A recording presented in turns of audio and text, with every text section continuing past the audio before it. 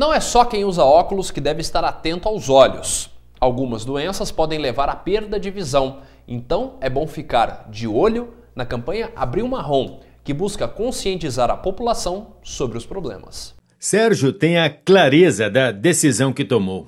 Com um problema crônico de visão desde a infância, ele não desistiu do melhor diagnóstico. Eu ainda criança, eu tinha uma inflamação terrível na, na, visão, né? Então, aos 35, 30, 35 anos, eu já sentia que a minha visão esquerda, eu já tinha uma perda considerável na visão esquerda. Procurei dois especialistas, né?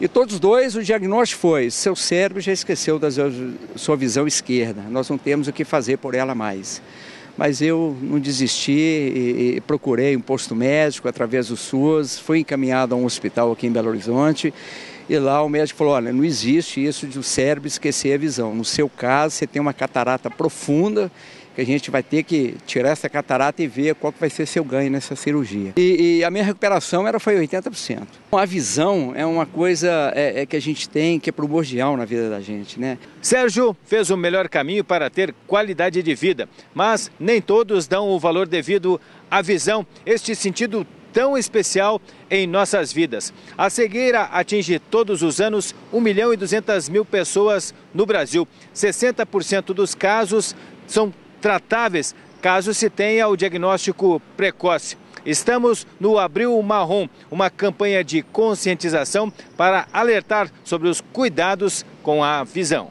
A mobilização, liderada por oftalmologistas, alerta para a visita anual ao médico. O monitoramento pode ajudar no diagnóstico de doenças silenciosas, como glaucoma. Ele começa com a perda gradativa da visão, inicialmente a observação periférica. A retinopatia diabética é causada pelo excesso de açúcar no sangue. Os primeiros sintomas são borrões e visão escurecida. Ainda a catarata, principal causa de cegueira reversível no mundo. Ela provoca a opacidade do cristalino, a lente natural do olho. Com o dano, a visão fica embaçada. Existem doenças oftalmológicas que levam a uma cegueira geralmente irreversíveis ou até reversíveis, mas que são muito subdiagnosticadas. Às vezes os pacientes enxergam bem e quando eles vão observar que a visão está sendo perdida, é quando eles vão procurar o oftalmologista e muitas vezes isso já é tarde. Então o abril marrom ele é importante para que a gente possa diagnosticar precocemente e conseguir tratar a tempo e evitar a perda da visão.